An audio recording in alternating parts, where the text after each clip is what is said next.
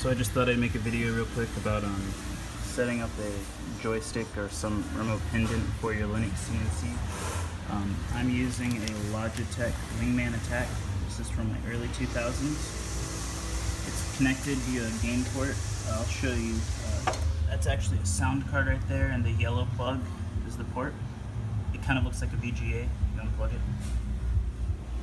Uh, there's an image of the card so this is the card, and this is that yellow plug that I just showed you.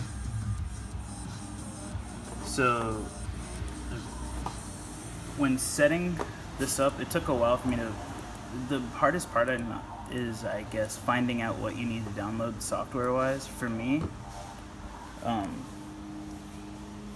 EMU 10K is a driver for my, uh, for my sound card.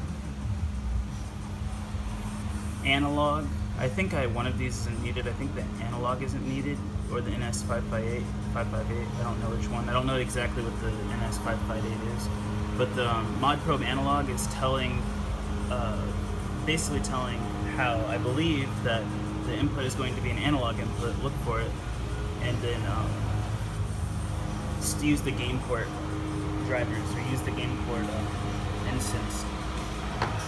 Until I ran these it would not uh, it would not have come up when I did the LS mod or what is it with the simple remote pendant. Yeah, so my my joystick actually never came up until I ran those. Um...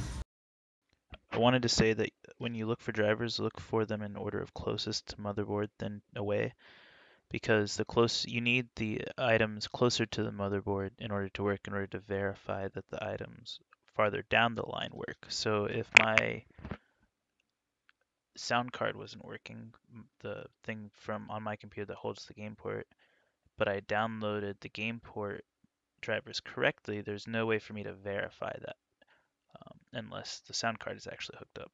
So try to download drivers and test them closest to motherboard. So for me, my instance, I downloaded the Sound Blaster, which is the sound card drivers first, and then I verified using LS mod, or I think the USB version of the LS mod to verify that uh, it was connected, the drivers were working, and then once I saw that it was um, recognized by Linux, I started moving down the line. So that way you're not just fiddling around and getting nowhere. Those commands in sudo, and once I did,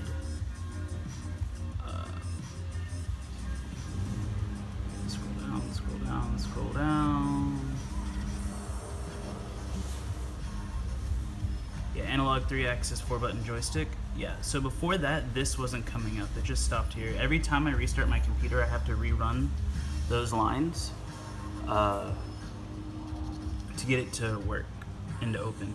So if you're trying to do this, identify how your um, how your controller pendant is being connected. So mine was longer because it wasn't USB.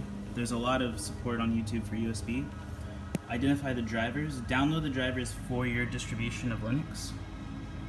Make sure, then make sure you install the drivers and then follow the simple remote pendant uh, using a twin. This is, you can just Google this really quick. It's really helpful. And then, um, yeah.